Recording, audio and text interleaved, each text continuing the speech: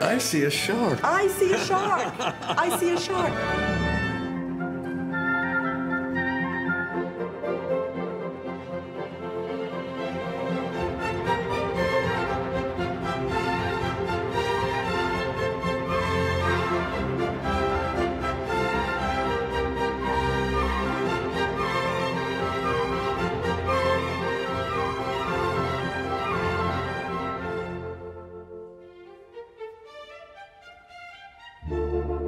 In 1808, Ludwig van Beethoven began to create images in the minds of his listeners.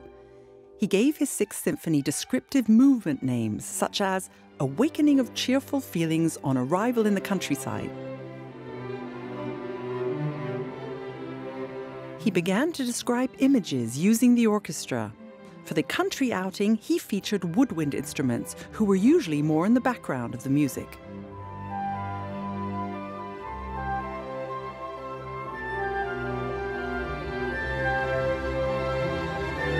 Beethoven's new ideas were a success. The first movement conjures up associations with excursions in idyllic country life.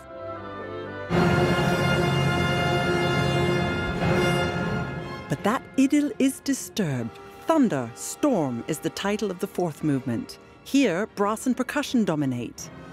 The idea of program music, music with a meaning or concept, was born with the Sixth Symphony and quickly became an important genre of romantic music.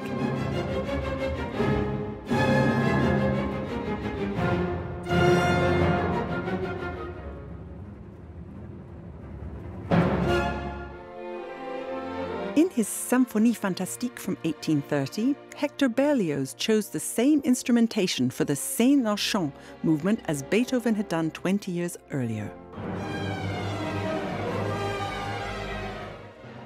In Richard Strauss's monumental Alpine Symphony, Beethoven's instrumentation is still unmistakably the model for Strauss's 1915 program music.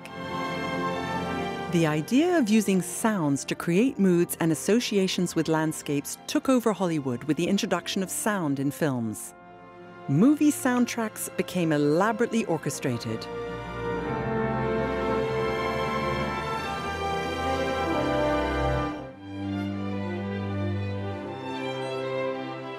One of the very early sound films, Fantasia by Walt Disney, uses the first movement of Beethoven's Sixth Symphony to depict an idyllic fantasy nature scene.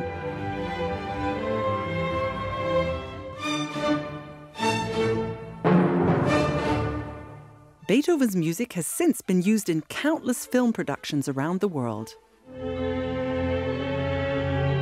Composers who had fled Europe, such as Erich Wolfgang Korngold, brought Beethoven's legacy to American films, creating a new lasting standard. And even the greatest modern day film composer makes clever use of Beethoven formulas. In the Star Wars films, the forces of good, embodied by Princess Leia and Luke Skywalker, are played by woodwind instruments.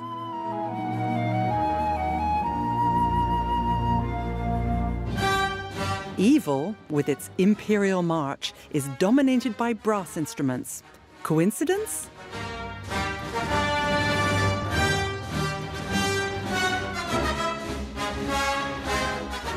We are at one of the greatest music festivals in the world, the Tanglewood Music Festival in Lenox, Massachusetts. And one of their yearly highlights is Film Night, where, of course, they play the music of the legendary John Williams. The composer of Jaws, Indiana Jones, Jurassic Park, Harry Potter, Star Wars, and many, many others, has influenced the film music industry of the last decades more than anyone else, and won many Oscars and Grammys along the way. The typical John Williams sound touches millions of fans around the world, and me especially as a horn player.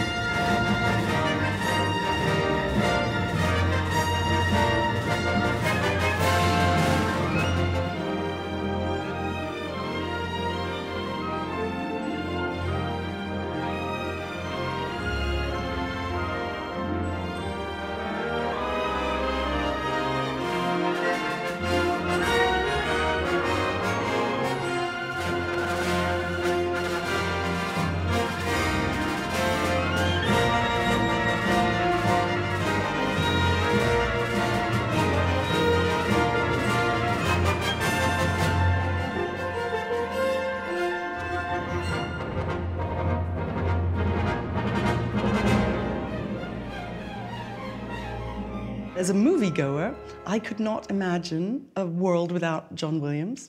And this is what we're talking about today a world without, without Beethoven. It's also impossible to imagine. It is. So, Beethoven was the first composer to actually write programmatic music. In his Sixth Symphony, he gave each each movement a title so that the listeners would know exactly what they were listening for. Yes, the Sixth Symphony is maybe an anomaly to him that he thought he might have been making entertainment.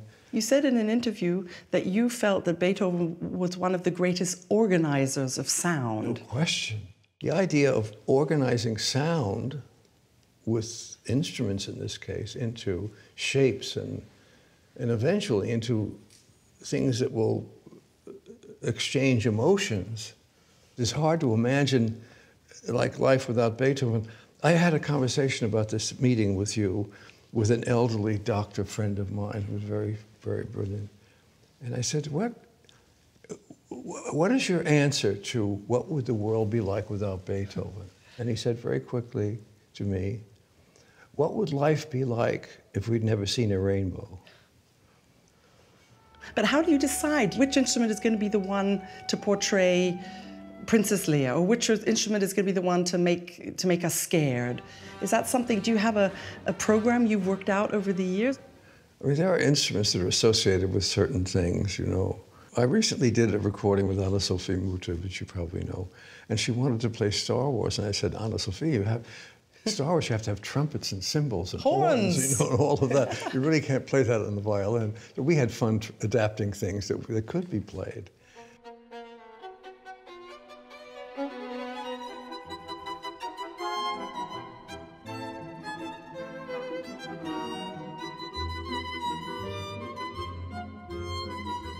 The music of John Williams is not only for movies, it's played in concert halls around the world, including here in the Vienna Musikverein, where Beethoven himself was an honorary member.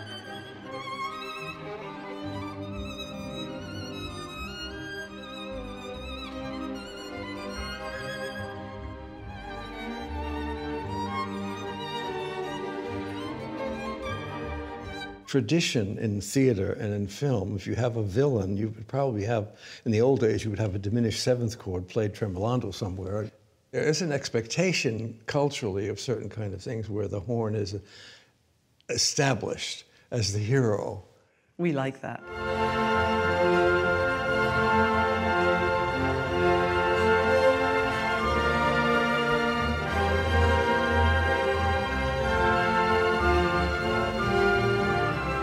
These connections uh, apply. Uh, they're historical, they're cultural, that forms a structure within which you have some freedom. Do you know, in the Seventh Symphony, in the third movement,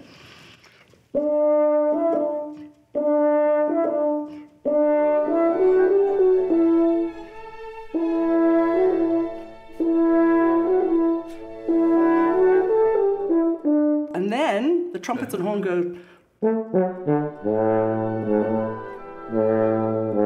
then he does this.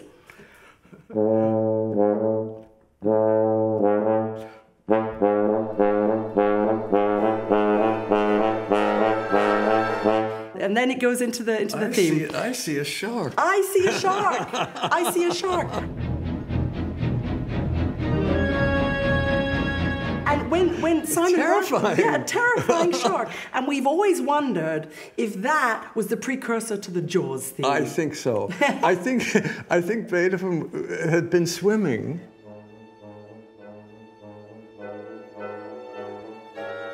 The drama in Beethoven's music has been an endless source of inspiration for film scores. It's incredible how much Beethoven has shaped our music world. Whether in jazz, film scores, or rock music, his innovations and ideas are everywhere.